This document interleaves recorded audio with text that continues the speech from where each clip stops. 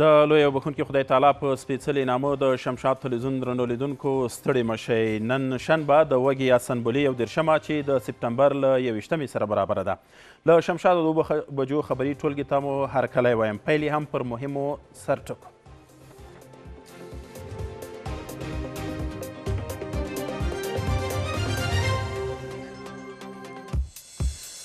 موخه یې د ناسمو برداشتونو مخنیوی دی حکومت دیني عالمان پر اختلافي مسایلو له بحث کولو منع کړل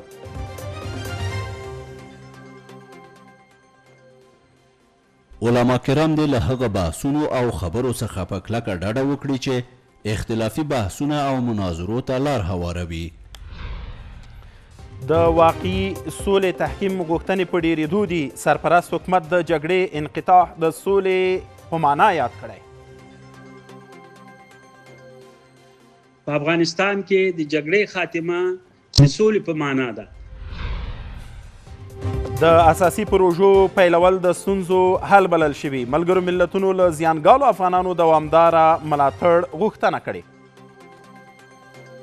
ما میخواهیم که پروژه های نیمه تمام دوباره تکمیل شود و کمک های جامعه بین المللی در بخش های انکشافی و توسعه در دستور کار قرار بگیرد او اسرائیل په لبنان د حزب الله جګپوړي قوماندان وژلی دی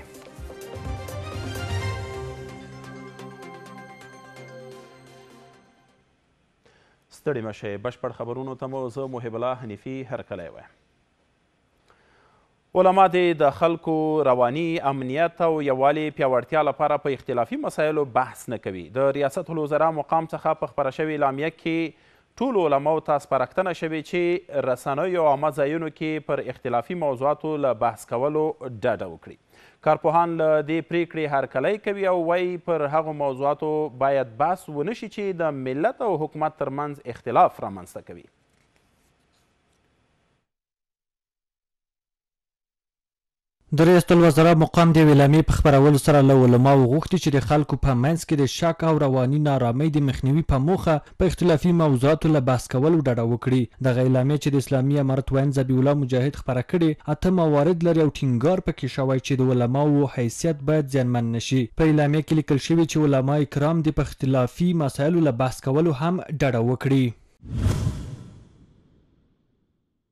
علما کرام دې له هغه بحثونو او خبرو څخه په کلکه ډډه وکړي چې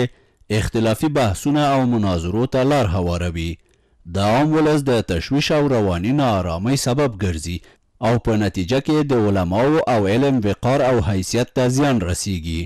علما کرام دې د هغه نادره موضوعاتو، قضایاو او د علماوو د تفرداتو بیانولو څخه ډډه وکړي کوم چې د بعضو خلکو لپاره د فتنې سبب ګرځي او عام ذهنیتونه یې له درکه عاجز وي. د رسول الله صلام مقام څخه په دغه اعلامیه کې ټینګار شوی چې دیني عالمان دې یوازې هغه مسایل د جوماتونو او رسنیو له لارې بیان کړي چې ټولنه کې اتفاق او یووالی لا پیاوړی کوي دیني عالمان او تحلیل کوونکي د اسلامي امارت دغه اقدام ستایي او ټینګار کوي چې د نظام او ممبر نظر باید یو اوسي. دا د افغانستان د عالي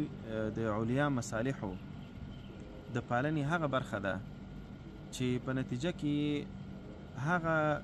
جنجالي بحثونه یا هغه غیر مفید بحثونه چې هغه پرته له دې چې اختلافات رامنځته کړي، پرته له دې چې بدګمانۍ رامنځته کړي،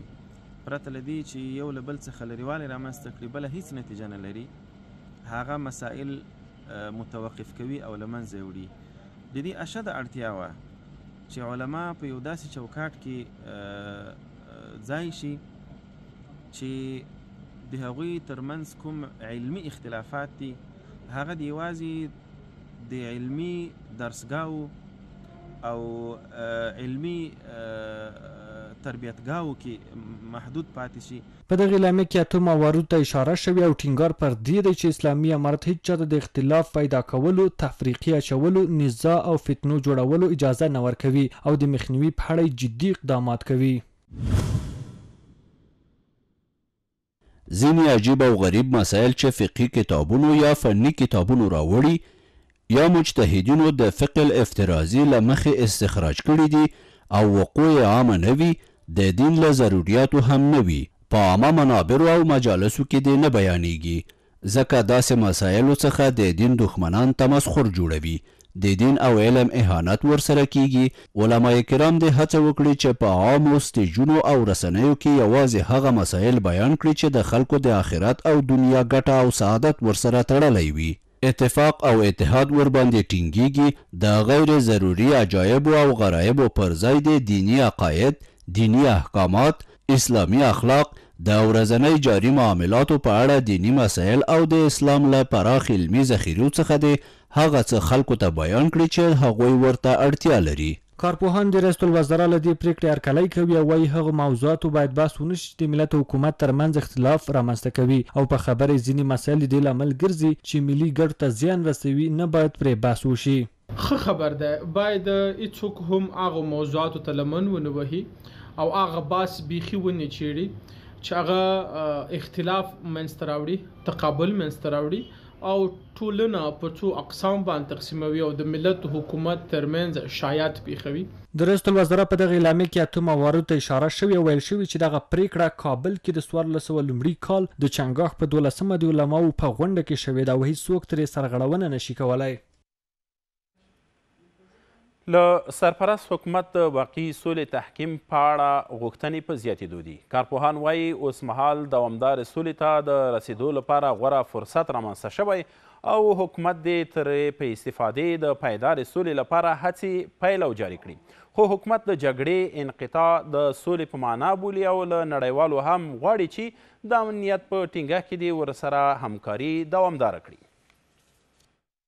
د سپټمبر یوویشت مه د سولې له نړیوالې ورځې سره برابره ده. دغه ورځ هر کال د جګړې او منازعاتو مخنیوي ترڅنګ د بشر پرمختګ او ارامۍ لپاره وضع شوو نورمونو ته په ژمنتیا سره نمانځل کیږي. د چارو یو شمېر کارپوهان وایي چې مشروع غوښتنو او حقونو ته لاسرسی د سولې اصل دی او د همدې اصل تطبیق لپاره پکار ده چې سرپرست حکومت د تلپاتې ثبات لپاره د دایمي سولې هڅې پیل او جاري وساتي. سولې اصلي مفهوم هغه دی چې د یو هېواد ولس د خپلو مشروع حقوقو څخه برخورداره وي او د هغو مشروع حقوقو ته درناوی وشي. بدبختانه چې په افغانستان کې وروسته د ظاهر خان د حکومت نه تر نن ورځې پورې دغه ځورېدلی کړېدلی ولس د ټولو خپلو بشري، انساني، اسلامي حقوقو څخه محروم دی. یوازینی وخت چې په افغانستان کې سوله وه هغه د خدای بخیلی اعلی حضرت محمد ظاهر شاه په وخت کې که سم د سرپرست حکومت چارواکي په وار وار په افغانستان کې د سرتاسري امنیت ټینګښت ادعا کوي خو د یوناما رئیس روز او تنبایه د امنیت شورا ناستې ته ویلي په افغانستان کې د سولې لپاره غوره فرصت رامنځته شوی او ویره یې مطرح کړې چې یاد فرصت د اوسني حکومت له لاسه ونه ځي د نوموړي په خبره که څه هم په افغانستان کې خلک اوس د امنیت احساس کوي، خو زیاتوي چې د جګړې درېدل د دایمي ثبات او امنیت په مانا نه دي. کارپوهان دې ته په پام وایي چې سرپرست حکومت دې واقعي سولې ته د رسېدو ابتکار خپل او په لاس کې دې واخلي. ما نسلی هستیم که سر بالا کردیم جنګ بود چهل و چهار سال عمر خود در جنګ تیر کردیم پس صلح آرمان ماست. صلح آرمان هر افغان است پس امارت اسلامی افغانستان در مورد صلح پایدار ثبات پایدار باید یک تصمیم جدی بگیرد که دیگر جنگ در افغانستان بر همیش ختم باشد له دې سره د سرپرست حکومت چارواکي په افغانستان کې د جګړې درېدل د سولې په معنا بولي او وايي، نا ړي واله ټولنه دي هم د نيوکو پر ځای په افغانستان کي د امنيت له ټينګښت سره همکاري وکړي. په افغانستان کي د جګړې خاتمه د سولي په مانا ده. همدا شان د اسلامي امارت د مشرتابه له خوا د عمومي عفوې اعلان د سولي د ټينګښت او دوام مانا ورکوي چي اوس ډيری استفاده ترې کوي. دا کارونه تر سره شوي. البته د فقر او غربت خاتمه، د کاري فرصتونو ايجاد، دا ټول اقتصادي کارونه دي چې د هغو لپاره هم اسلامي امارت اقدامات کړي، یو شمېر لویې پروژې یې یا اعلان کړې او یا په پلان کې دي. باید ووایو چې د نړیوالې ټولنې هم مسؤلیت جوړېږي چې یوازې په انتقاد کولو تمرکز ونه کړي، بلکې د اقتصادي بندیزونو په لرې کولو او د انکشابي انکشافي پروژو په پیل کولو سره د ولس د ستونزو په حل او په افغانستان کې د سولې په ټینګښت کې برخه واخلي. تېر کال د ملګرو ملتونو سرمنشي د دې ورځې په مناسبت په خپره کړي پیغام کې د داسې ورځې هیله ښودلې وه چې په ټوله نړۍ کې تاوترخوالی پای ته ورسېږي او د نړۍ ټول انسانان خپلو بشري حقونو ته لاسرسی ولري. په افغانستان کې د ناټو نظام او ملت جوړونې ادعاوې له واقعیته لرې بلل شوي. تحلیل کوونکي په افغانستان کې د ناټو سازمان د بریالي ماموریت ملت جوړونې او ترهګرۍ سره د مبارزې په تړاو د ناټو سرمنشي داوې له مسولیته د تېښتې په معنا بولي. د شنونکو په ده باور ناټو نه یوازې دا چې دلته ملت جوړونه نه ده کړې بلکې ستراتیژیکو موخو ته د رسیدا لپاره یې په افغانستان کې د ځواکمن نظام په جوړولو کې هم پاتې راغلی.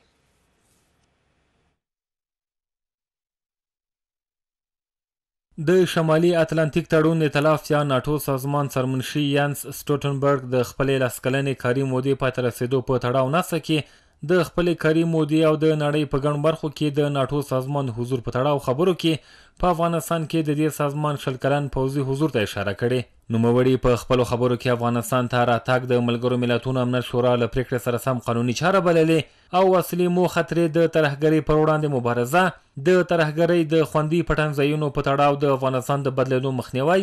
او ملت جوړونه بللې. هغه هدف ته د رسېدو له مخې که څه هم دغه ماموریت ګټور بللی، خو تر ناڅرګندې مودې پورې د دې پوځي ماموریت غځېدل یې بې ګټې بللي چې په وینا یې ورته هېڅ دلیل موجود نه و.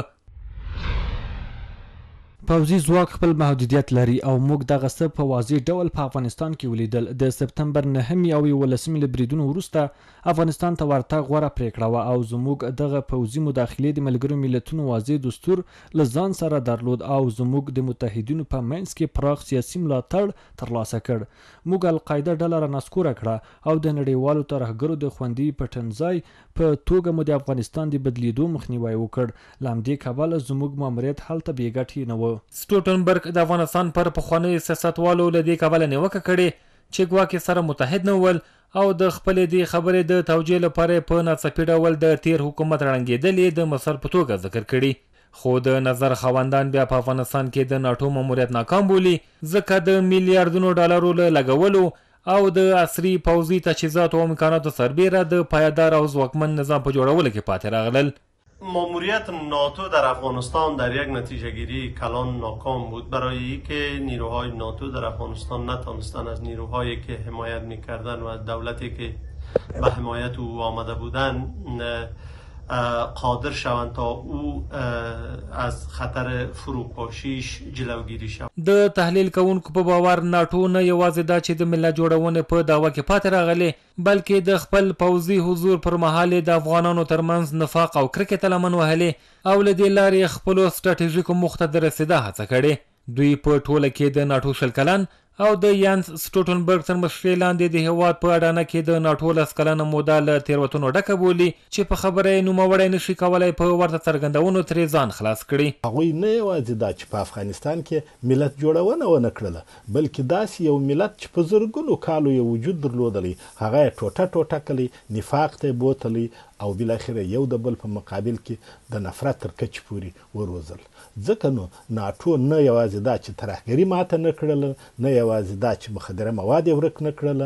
بلکې د افغانانو تر منځ د ننني نفاق او د ننني وضعیت مسؤل همدغه ناټو د امریکا په مشرۍ وه او ده. د ناټو استازي واقعیت وايي، ناټو په خپل ماموریت کې کامیابه وه، هغه راغله، اشغال ته زمینه مساعده کړه، اشغال اوس په افغانستان کې دلته ترهګر روزل و راوستل و جګړې ته جګړه کول و جګړه مدیریت کول دا کار ټول وکړل په خپل سم سره او بیرته له افغانستانه ووتله د سپټمبر په نهمه یولسمه د امریکا پر دوو نړیوالو سوداګریزو مرکزونو او پنټاګون له بریدونو وروسته د امریکا په مشرۍ ناټو ایتلاف پر افغانستان پوځي برید وکړ او تر شل کلنې اوږدې مودې د میلیاردونو ډالرو له لګولو او د دې سازمان د غړو هېوادونو په اډانه کې د پراخې مرګ ژوبلې وروسته د اګست په یو دېرشمه د وروستي امریکایي عسکر له وتو سره دغه پوځي حضور هم په بشپړ ډول پای ته ورسېد. د ناټو د غړو هېوادونو سربېره دغه حضور د امریکا او ناټو سازمان د سیالو هېوادونو او جوړښتونو له لوري چلن شوی او سختې نیوکې پرې شوي. ملګرو ملتونو له زیانګالو افغانانو د دوامدال ملاتړ غوښتنه کړې. کابل کې د یوناما مرستیال وایي په افغانستان کې له اړمنو سره باید داسې مرستې وشي چې په لنډ وخت کې خلکو ته خواړه او په اوږد مهال کې کاري فرصتونه ایجاد کړي. کارپوهان بیا وایي نړیوالو ته پکار ده چې په افغانستان کې د اقتصادي ثبات لپاره پر هغو پروژو کار پیل کړي چې نیمګړې پاتې دي.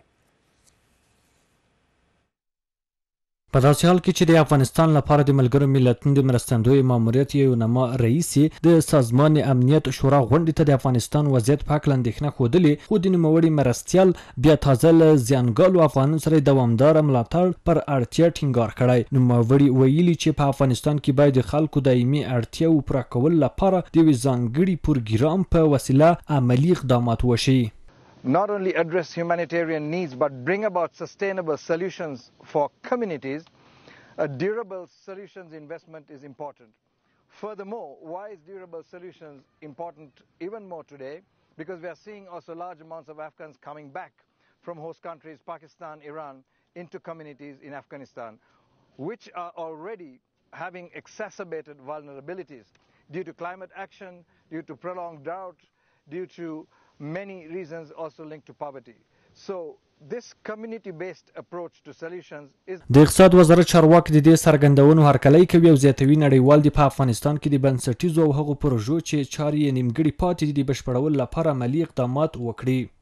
وزارت اقتصاد امارت اسلامی از صحبت‌های معاون یونما درباره کمک‌های بلند مدت به مردم افغانستان استقبال میکنه ما می‌خواهیم که پروژه های نیمه تمام دوباره تکمیل شود و کمک های جامعه بین المللی در بخش های انکشافی و توسعه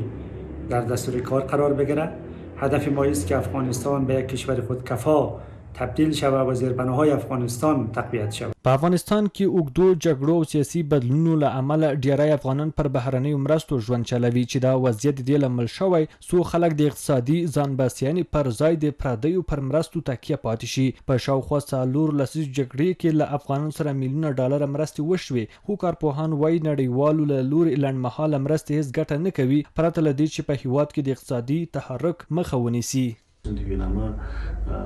مرستو ته ضرورت لري مخصوصاً په هغو ساحو کې یعنې په هغه برخو کې چې هلته باید داسې کارونه وي چې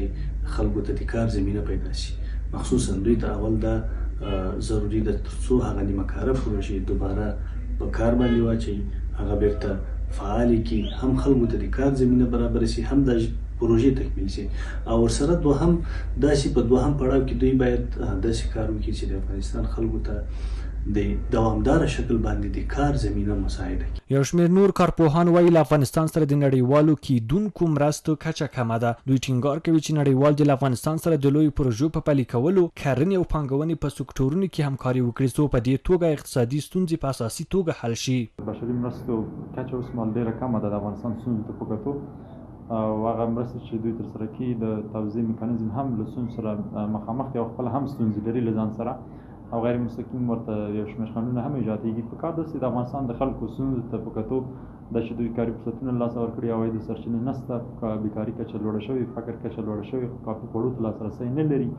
په کار ده چې دغه سازمانونه هیوادونه او ډونران له افغانستان سره کافي مرستې وکړي اوس مهال ډېرې کمې دي نظر د افغانستان مشکلاتو ته په کتو دا په داسې حال کې ده چې وړمه ورځ دوینمه رئیس روزا اوتنبیوا د ملګرو ملتونو د امنیت شورا په غونډه کې د افغانستان اقتصادي وضعیت کړکېچن یاد کړ او زیاته یې کړه چې په افغانستان کې روان کال درویشت اعشاریه اووه میلیونه افغانان بشري مرستو ته اړتیا پیدا کوي چې ملګرو ملتونو له هغوی سره د مرستو لپاره د درې میلیارډو ډالره بسپنې غوښتنه کړې خو تر اوسه یوازې نهه سوه میلیونه ډالره ترلاسه شوي. د کانونو او پټرولیم وزارت مني چې ځینې کانونه لا هم د له مافیایي کړیو خوندي نه دي. د دې وزارت چارواکي وایي، دغه کړۍ د سرو زرو د کانونو په چارو کې لاسوهنه کوي، خو ډاډ ورکوي چې ژر به یې مخه ونیسي. د دوی په خبره، تېر کال نږدې لس میلیارد افغانۍ عواید یې د کان کیندنو له درکه راټول کړي او د ځینو کانونو عواید یې د لویو پروژو پلي کولو ته ځانګړي کړي دي.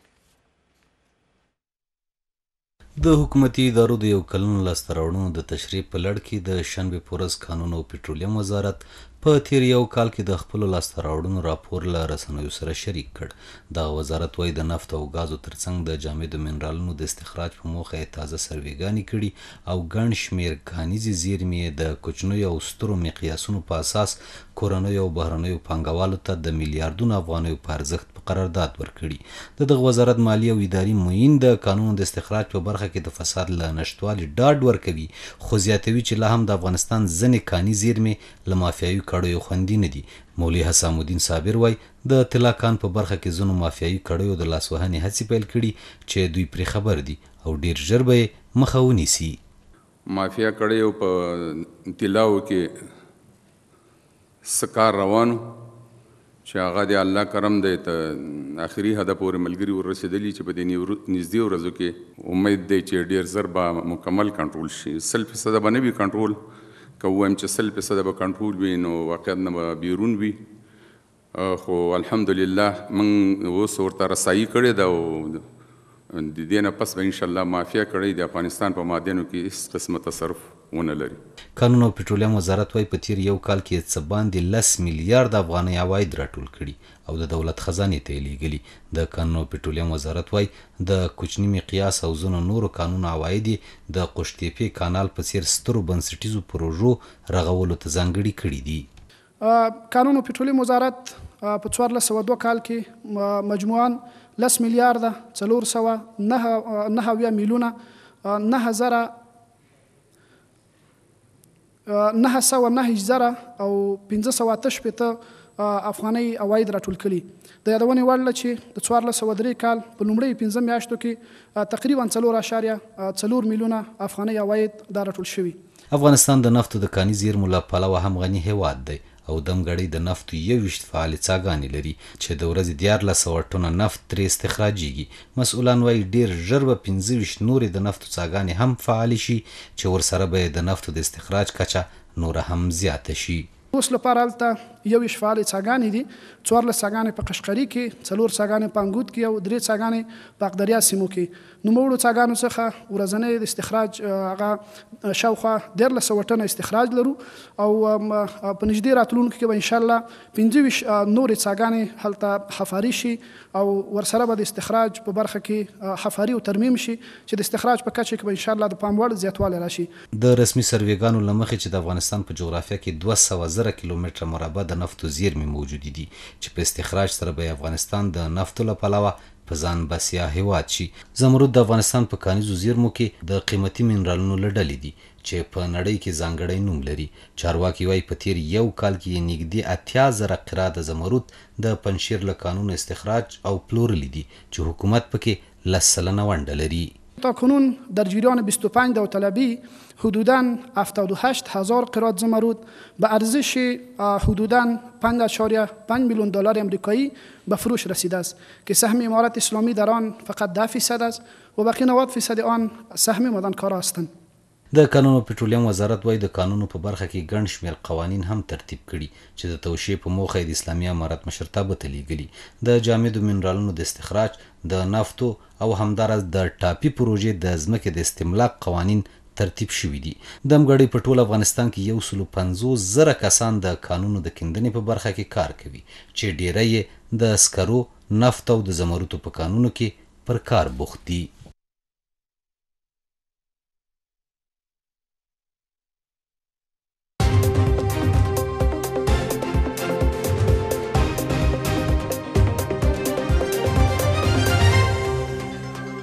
اقتصادي خبرونه درته زما همکار وړاندې کوي سویس کې د افغانستان شتمنۍ 313 میلیونه ډالر ګټه کړې د افغانستان امنی صندوق مسولین وایي چې په دغه صندوق کې د افغانستان د کنګل شوې شتمنۍ یوې برخې اوسمهال درې سوه اووه دېرش میلیونه ډالره ګټلې دی. دا صندوق د دوه زره او دوه ویشتم کال په سپټمبر کې جوړ شوی و چې اوسمهال یې درې سوه او اووه دېرش میلیونه ډالره ګټه کړې ده چې د افغانستان درې اعشاریه پنځه میلیارده ډالره کنګل شوې شتمنۍ ورانتقال شوه. د یاد صندوق مسؤلینو ویلي چې دا ګټه به د افغانستان په اقتصاد او د افغانیو په ارزښت ساتنه کې وکارول شي.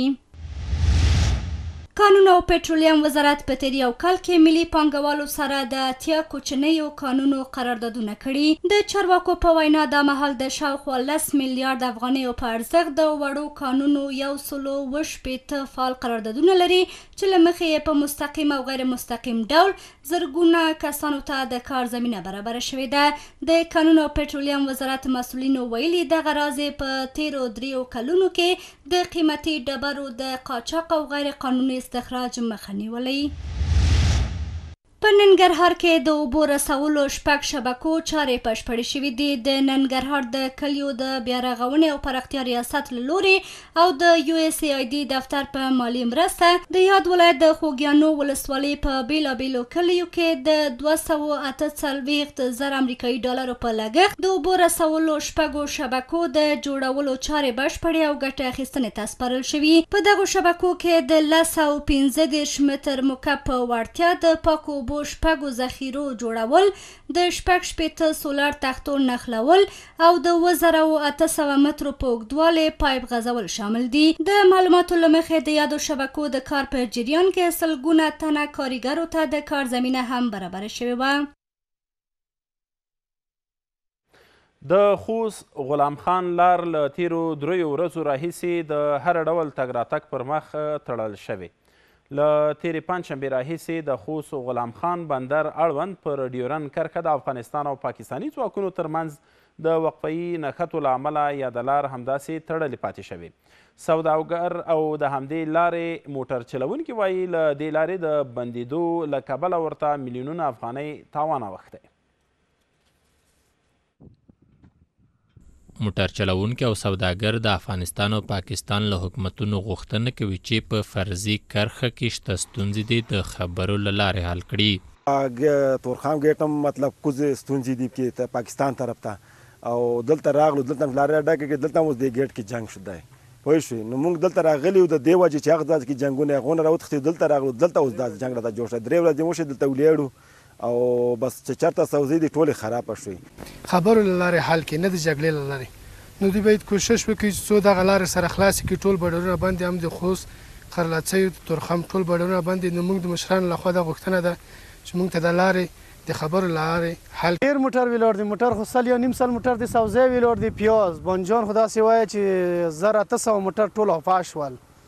د سوزه سل يا نيم سل موټر ولاړ دي او کولې ولا ډېر موټر ولاړ دي. ورته مهال د خوست د سوداګرۍ او پانګونې خونې مسؤلان وايي، ډيورنډ کرښې ته څېرمه په بېلابېلو نقطو کې د افغانستان او پاکستاني ځواکونو ترمنځ د رامنځته کېدونکو شخړو له امله سوداګر تل مليونونه افغانۍ تاوان ګالي. د دوی په خبره په کار ده چې دواړه حکومتونه سوداګري د سیاست قرباني نه کړي او شته ستونزې ژر تر ژره هوارې کړي. او که چېرې غواړي چې موږ نورمال تجارت وکړو باید تجارت یې سیاست نه بېل کړو او هغه مشاجرې او مشکلات چې د اسلامي امارت او پاکستان ترمنځ دي د هغه باید د خبرو لاره حل کړي او تجاران د دغه قرباني نه شي. بل لور ته سیمه ییز چارواکي وايي، د غلام خان اړوند پر فرضي کرښه نښته لومړی د پاکستاني ځواکونو د بد چلند او لفظي ستونزې له امله رامنځته شوې. د چارواکو په خبره په سیمه کې د وضعیت د ښه والي او لارې د خلاصون په موخه د دواړو حکومتونو ترمنځ خبرې روانې دي. دی د ګلام خان په شخړه کې هم فکر کوم چې همدغه لفظي شخړه رامنځته شوې وه اوس د دې شخړې د منځه وړلو لپاره او د تجارتي موټرو د تګ او د راتګ لپاره مذاکرات روان دي انشاءالله تعالی ښې نتیجې به ولري. د خوست ګربزو ولسوالۍ غلام خان بندر ته څېرمه پر ډیورن فرضي کرښه د وروستیو نښتو له امله د همدې لارې د بندېدو ترڅنګ ګڼ ځايي خلک هم د خپلو کورونو پرېښودو ته اړ شوي. دا وروستۍ نښتې داسې مهال رامنځته کېږي چې څه موده وړاندې د خوست په ځاځي میدان ولسوالۍ کې هم پر فرضي کرښه د دواړو خواوو ترمنځ تر نېږدې یوې اونۍ وقفهيي جګړې دوام وکړ. د خوست غلام خان پر فرضي کرښه د افغان ځواکونو او پاکستاني ملشو ترمنځ د وروستۍ جګړې له امله چې تېره شپه یې هم دوام وکړ، د غلام خان لاره هم په بشپړ ډول د سوداګرۍ په موخه تړل شوې. سوداګر وايي چې د همدې جګړې له امله یا د لارې د بندېدو له امله ورته ګڼ مالي زیانونه اوښتي. د دوی په خبره ځینې میوهجات او سبزۍ چې له دې خوا پاکستان ته اوښتل، خراب شوي او له دې امله دوی په میلیونونه افغانۍ زیان لیدلی. هرات کې په لومړي ځل د طب محصلانو لپاره کدري روغتون جوړ او ګټې اخیستنې ته وسپارل شو. مسولین وایي د دغه روغتون جوړولو موخه یې د طب په برخه کې متخصص کدرونو روزل او د روغتیايي خدمتونو کیفیت لوړوالی دی. بلخوا د هرات طب پوهنتون طب پوهنځي مسولین وایي چې د دغه روغتون له جوړېدو سره به د محصلانو د علمي کادرونو برخه کې شته ستونزې حل شي هرات کې د لومړي ځل لپاره د دغه ولایت پوهنتون د طب پوهنځي محصلانو ته د اته ویشت میلیون افغانیو په لګښت د لسو میاشتو په موده کې د لوړو زده کړو وزارت لخوا پنځوس بستریز کدري روغتون جوړ او ګټې اخیستنې ته وسپارل شو. مسؤلین وايي، د دغه کدري روغتون جوړولو موخه یې ټولنه کې د عصري علومو وده، د متخصصو طبي کادرونو روزل او د روغتیايي خدماتو کیفیت لوړوالی دی. د دومره محصلینو لپاره چې زموږ د طب پوهنځۍ څخه فارغه کیږي د هغوی لپاره مایکفي خدمتونه نه وړاندې کیدله چې دوی په هغه کې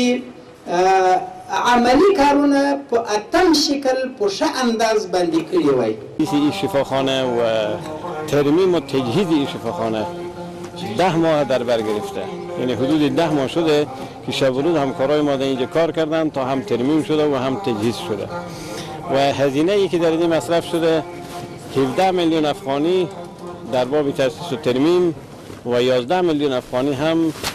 تجهیزات طبی شده. بلخوا د هرات پوهنتون طب پوهنځي مسؤلین د طب برخه کې د نظري زده کړو ترڅنګ عملي کار مهم بولي او وایي چې یاده برخه کې له سختو ستونزو سره مخ وو او اوس مهال د دغه روغتون په جوړېدو سره به یې د عملي کارونو ستونزه هم هواره شي. تحصیل در رشته طبی بیشتر به نوع پرکتیک یا عملیه بنابراین هر قدر که ما بتوانیم بیشتر محصل خود وارد کارهای عملی بکنیم و در پهلوی استاد در پهلوی مریض قرار بگیره و میتونه مهارت را یاد بگیره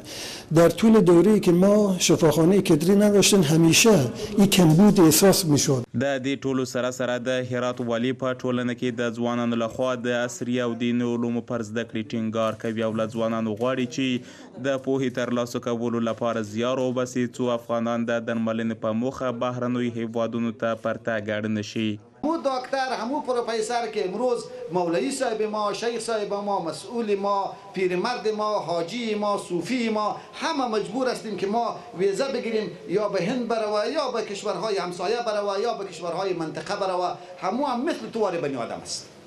نه بیشتر از تو خدای تعالی بازو استعداد داده و نه در عصر جدیدی که ما و شما زندگی میکنیم برازو آلات و امکانات داده خوب زحمت بکشید از آلات و امکاناتی که خدای تعالی برای شما نصیب فرموده خوب استفاده کنید. دا په داسې حال کې ده چې هېواد کې د روغتیا برخه کې د پرمختللو طبي امکاناتو نشتون له امله لا اوس هم ډېری کسان د درملنې په موخه بهرنیو هېوادونو ته ځي. ننګرهار کې ترافیکي پیښو زیاتوالي خلک اندېښمن کړي. د رسمي معلوماتو له مخې د دغلته روان کال شاوخوا اتیا ترافیکي پیښې کې لسګونه کسان مړه او ټپیان شوي دي. عام خلک د یادو پیښو د زیاتوالي لامل د سړکونو تنګوالی او د موټر چلوونکو بې احتیاطي او په غیر مسلکي توګه د موټرو چلول یادوي. د ننګرهار ټرافیکو مدیریت مسؤلین وایي، د روان کال له پیل راهیسې د دغه ولایت په بېلابېلو سیمو کې د شپږ اتیا ترافیکي پېښو له امله پنځه پنځوس تنه مړه شوي او پنځوس تنه زخمیان دي چې د مړو شویو کسانو له ډلې یې نهه تنه یوازې د تېرې وږې په میاشت کې د همدغو پېښو قرباني شوي. ننګرهارمېشتي د دغو پېښو د زیاتوالي لامل د سړکونو تنګوالی، د یو کلي موټرو زیاتوالی، د موټر چلوونکو بې احتیاطي او د غیر مسلکي کسانو له خوا د موټر چلولو په ګوته کوي. سرکونه تنګ دي اشاره نشته دی او ټولو چې دی به یو کلی موټر اغستی دي پاکستان لاسګاډي دي ورسره کاغذونه ورسره نشته لیسنس ورسره نشته دی درس د ډریورۍ نه دی ویلی بس خالی ګاډی اغستی او ګاډي ته ناست او سرک ترې ایستلی ځانم خوږی بلم خوږی عادي قسم چې دی بس ګاډی اغستی دی او ناست ورته بل علت یې هم دا دی چې دا ترافیکي پیښې په همدې باندې ډېرې زیاتې شوې دي. د خلکو ټینګار دا دی چې مسؤلین باید د ټولو هغو کسانو پر وړاندې جدي اقدامات وکړي چې بې لایسنسه، غیر مسلکي او د ټرافیکي اصولو په پام کې نیولو پرته موټر چلوي. نو د دولت نه هم دا غوښتنه ده چې د اشارې فعال کړي، دا سرکونه ډېر زیات تنګ دي، رش پرې ډېر زیات دی، نو د دولت نه هم دا غوښتنه ده چې د دې پوښتنه وکړي دا غیر قانوني موټرې ونیسي دا بې لیسنسه ډریوران چې دي دوی ته لیسنس یې جوړ کړي نو دغه شیونه چې وشي نو انشاءالله دا حادثې به کمې شي دلته ډېرې زیاتې حادثې ګوري هر یو ګاډي کې پنځه نفره شپږ نفره مړی باید چې لیسنس د ګاډي هم واخلي او بې لیسنسه دې ونه ګرځي باید چې زموږ حکومت سرکونه غټ کړي. د ننګرهار امنیه قوماندانۍ مسؤلین په داسې حال کې چې د ترافیکي پېښو زیاتوالی تاییدوي وايي، د دغو پېښو د راکمېدو لپاره یې هڅې پیل کړي. دوی وايي، پر ټولو هغو کسانو چې موټر چلوي دا لازمي کړي، تر څو د موټر چلونې د زده کړو په مرکزونو کې روزنه ترلاسه کړي او همدارنګه لایسنس ولري.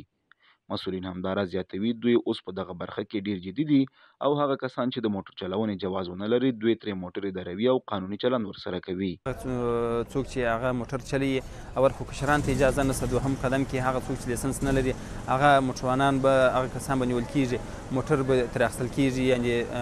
تر څو دوی د موټر د زده کولو قوانین اصول مراعت کړي او زده یې کړي. ننګرهار کې د ټرافیکي پېښو د زیاتوالي اندېښنې په داسې حال کې زیاتې شوي چې یوازې د تېرې وږي یا سنبلې میاشت کې د دغه ولایت په بېلابېلو سیمو کې د ترافیکي پېښو له امله نهه کسان مړه شوي او په یادو کسانو کې یوازې د یوې کورنۍ پنځه تنه غړي شامل دي. هدایت شاه هدایت، شمشاد راډیو ټلوېزیون، ننګرهار.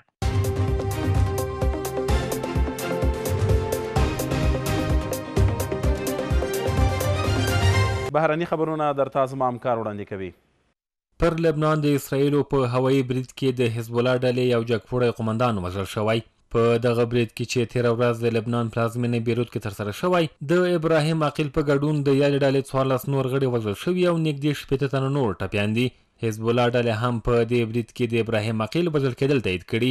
ابراهیم عقیل د حزب الله ډلې هغه لوړپوړی پوځي قوماندان و چې تر دې وړاندې د امریکا تر څارنې لاندې و او د نوموړي د ځای ښودلو پر سر یې یو میلیون ډالر جایزه ټاکلې وه. دا د اسراییل او حزب الله ډلې ترمنځ د جګړې له پیل راهیسې د یادې ډلې دویم قوماندان دی چې د اسراییلي ځواکونو په هوایي برید کې وژل کېږي. تر دې وړاندې د یادې ډلې بل جګپوړی قوماندان فواد شکور هم په ورته برید کې وژل شوی و.